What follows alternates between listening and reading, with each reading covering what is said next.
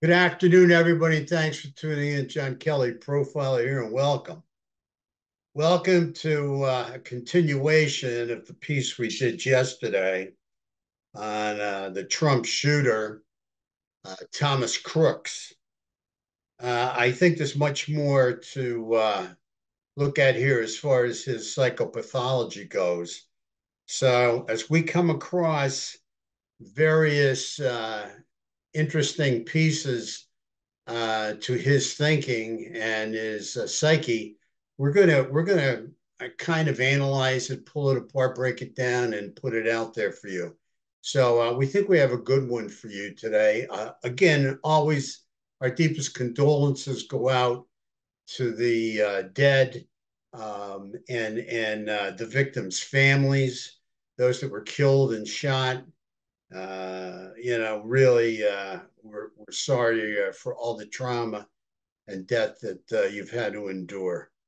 Uh, so let's take a look here and uh, see what we're doing. And we have an alleged video here from Fox News.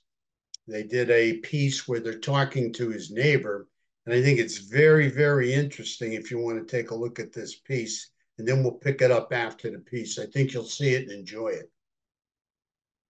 Find very interesting.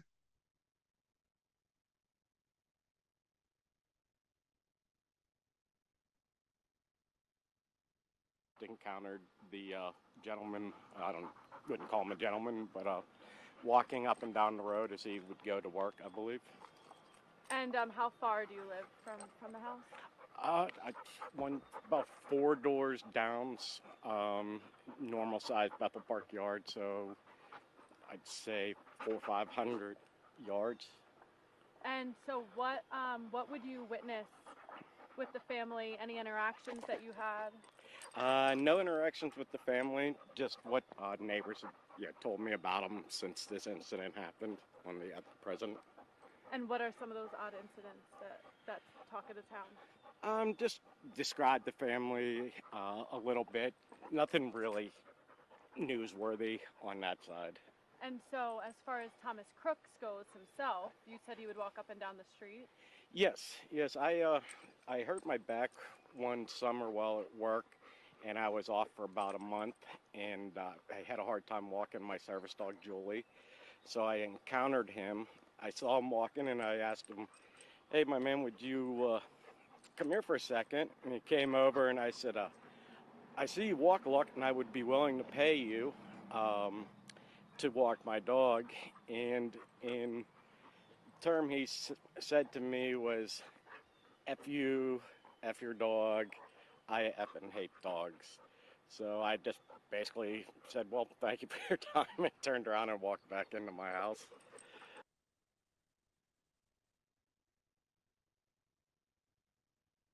Okay.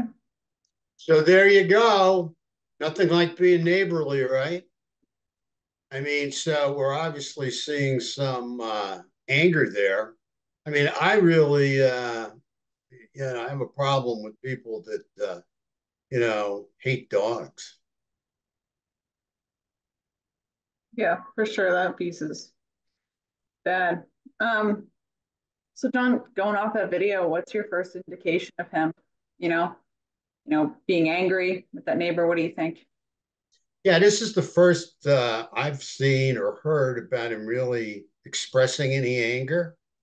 And, you know, that's something that's kind of been bothering me too, because usually when we see these shooters, you know, we're usually hearing or seeing about seeing some anger come out somewhere. You know, they're kind of uh, anger gatherers. Um, they go about gathering up a lot of anger and storing it and uh, keeping it inside and, um, you know, internalizing it. And usually they start to spew it out one way or the other, whether it's in a manifesto or a post or they're talking about it or something. But we haven't really seen that with Thomas Crooks until now. I mean, talking about being neighborly. I mean, you're going to treat your neighbor like this and his dog like this. And obviously, the guy has a disability. I mean, So again, that goes back to him not being concerned. Allegedly, this is allegedly. This is based on what you know, this neighbor's saying here. I mean, uh, you know, not having any uh, care or concern, uh, you know, for a neighbor that's disabled. Again, extremely low empathy, uh, which kind of plays in to his psychopathology as far as us thinking uh, about, you know, he might have, again, I have, it's only my opinion, I have not ever seen him or diagnosed him, but not having any uh, uh, care concern for others, should we say? I mean, you know, um, very, very um, a kind of uh, uh, disconcerting attitude towards people in general. And definitely the person that, you know, shot at Trump and shot at, she just shot into the crowd, then wasn't really concerned about other people. So that kind of fits, you know, to me, again, based on the allegations of this gentleman, I, I see no reason for him to lie mm-hmm. forward, but you never know in this world, you know, we live. You don't. So I hear a lot about the fantasy. Does the you know the rage have anything to do with his fantasy? Well, lots of times when people are uh, you know planning a, an event like this, and uh, especially an event where they feel it's going to be a murder or a mass murder, um, you know they're they're focused uh, also you know on their on their own demise as well. I mean, they probably take he certainly I believe took it to the end, and the end was going to be the end for him. Uh, again, he had some homemade bombs, so he'd go out in a blast, if you will. Uh, in his mind, his fantasy, a blast of glory. Um, you know, he'd always be recognized, he'd be remembered throughout history. Uh, so this was going to be a very grandiose day for him. And you know, when you're when you're going through all this planning and everything else, I really believe you're stuck in kind of a fantasy and how you're going to be uh, uh, famous or infamous and how you're going to go on again uh, through history and be in various books or whatever. But the anger, it starts to build up internally and it creates a certain uncomfortability. So by staying in the fantasy and kind of uh, enjoying um, that, I'll say, a bit of euphoria, you know, um, and self gratification because you think you're going to uh, uh, be so accomplished and so recognized. It kind of, uh, you know, is soothing. It's kind of a soothing situation for the anger. I mean, the anger gets toxic and very uncomfortable in the body. So, you know, by by thinking of other things, having other thoughts of grandiosity, and we know thoughts create feelings that make you feel better. So it kind of helps, you know, uh, smooth out, you know, this uh, internalized rage. I've been waiting to see it somewhere because, I mean, how do you just go out? I mean, I, I know you want to be um, uh, recognized for what you're doing and uh, you want to, uh, uh, you know, go into history but still in all, I mean, pretty much whatever shooter we've run across uh, and mass murder, usually there's, you know, they're anger gatherers and they're filled up inside with uh, angry and with anger and you know they they really um, they really express it some way somehow some shape or some form we've we have not seen that we could we could not find that, like I said, in posts or manifestos or talking about the first time we've seen it being vocalized and talked about, you know, allegedly by this neighbor. You know, so I think that's uh, I think that's uh, a very interesting piece. You know, so he's he's walking around, you know, with uh, with some anger and rightfully so. I think he's been teased a lot, bullied. I don't know what his home life has been like. Yeah. Do you think the depression could tie into his anger and rage? A- absolutely. I mean, uh, if he's entertaining uh, a lot of negative thoughts, self criticizing thoughts, I think the uh, depression definitely uh, could tie in there. Again, we don't know how depressed or if he was depressed or whatever, but you know, how can you be suicidal and not be depressed? You know, it's another story to me because obviously he felt uh, he was going to commit suicide by cop or by Secret Service or something, but I don't think he felt he was going to walk away from this event. So I have to believe there was a certain amount of, uh, and again, only my opinion, depression along with, uh, you know, uh, uh narcissism and, uh, you know, his focus on, uh, you know, that he was going to, he was going to be really recognized and known uh, forever, and he was going to be famous and uh, go through history. Uh, well, you know, as an inf- infamous character, uh, you know, that uh, tried to assassinate the president. Yeah. Um, one question I have too, just why now? Why would he act out on all of this right now? Well, I think it gets to a point where you know you get he he he he found out that a very famous man, um, uh, prior president of the United States, was going to be in town, right? So that was an opportunity. So now this is an opportunity for him to achieve, maybe in his mind, um, uh, you know, visual uh, immortality, where he would be seen in various books, movies, uh, online, uh, etc. Um, you know, so he was going to be uh, uh immortally uh, plunged into the internet and uh, into people's memories for times to come. So he wanted to take advantage of this. And while he's in the process of planning this and going through the different stages of planning and you know, uh, carrying it through his mind exactly how he's going to do it.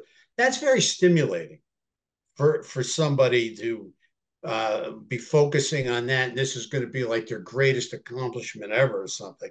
So, you know, that can be very stimulating. And that stimulation can be, again, very soothing, you know, to the uh, internal uh, anger, uh, depression, whatever I mean, he's he's just moving forward towards his goal of um, you know um, becoming a very very um, you know uh, famous person. Uh, and again, it's really infamous, but you know, in his mind, I think he believes it's just there's fame written all over it, you know, and he's going to become very famous. Yep. Makes sense. Okay, well, hey, John, good points. I'm glad you brought out that video, that neighbor. You know, I I I I also think that um, you know to look at the anger. One one last point. Yeah. You know, it's like a river. Like anger flows through us like a river. Okay, and it's a uh, I call it the river of anger. It flows through. It flows through everybody. People, people. If you're human, you're going to get angry at times. But if you realize when you talk about it or write about it or get it out, if you turn that anger or rage or whatever it is into language, into writing about it, you start to get rid of it. Okay, you're you're you're turning that uh, anger into language and dumping it and getting rid of it.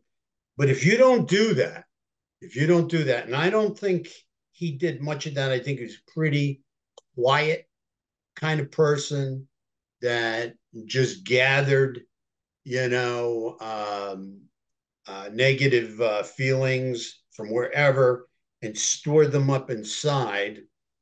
And, you know, probably uh, just went on, you know, and this is all being internalized. You know, he doesn't have an outlet for it. You know, we haven't seen him, you know, with an outlet except maybe shooting at the range, help soothe that anger. Um, we see it here coming out on this neighbor. Okay, so we see him getting it out there. So, you know, I mean, uh, not a typical response from a neighbor, right? Who's uh, disabled, uh, you know, the, you know, to talk to him uh, like that, right? And his dog, okay, but but I mean, so so as this anger builds up inside, if you don't have an outlet for it, and you're not getting it out in some which way, shape, or form, uh, whether it's writing or talking about it, you know, eventually that river of anger starts to build up and becomes dammed up, and eventually that dam bursts. And I think uh, that's what happened when he had the opportunity in his mind to become a very famous person and assassinate a former president uh, and someone who's running for president right now, and uh, you know, be able to uh, you know, to just uh, to just do that. I mean, I I think he got to the point where um, you know this this uh, was was all very stimulating to him and um, was an outlet for him, and um, you know, is going to be uh, quite a uh, quite an accomplishment uh, for him. But again, it's the uh, I think his river of anger uh, uh, you know, has been building up for a long time in him. And now we're just starting to see it. I'm surprised we didn't see it sooner, some way, shape, or form, but we didn't see it anywhere. And I'm hoping more of it comes out. I'm hoping more people, if they know anything, speak up about it because it's uh, it's it's very important here. I mean, uh, obviously he uh, got to the point where he became extremely mentally ill and uh, you know uh, exploded in a homicidal and suicidal manner. Yeah, he really kept all this in all this time. Sure. That's the way it looks. Yeah. So if we're done, are we done? That's all I got for now. Yeah. Well, let's thank, you know, I want to thank the crowd for tuning in. Um, you know, all our uh, viewers out there, thank you so much. We really appreciate you. Uh, we're going over your comments. Give us a lot of great comments we're going over. Uh, most importantly, if you like us, hit like. If you want to subscribe, subscribe. And um, most importantly, take care of yourself out there. We live in a violent world. You know, stay safe. Have a great day. And until next time, uh, and we'll keep reporting on this as as different pieces of uh, pathology that we think is his pathology come up. And uh, you know, hopefully, uh, you know, we'll uh, we'll have more uh, here to unravel. But most importantly, you take care of yourself, and uh, we'll keep you updated. Take care and God bless. Thanks, John.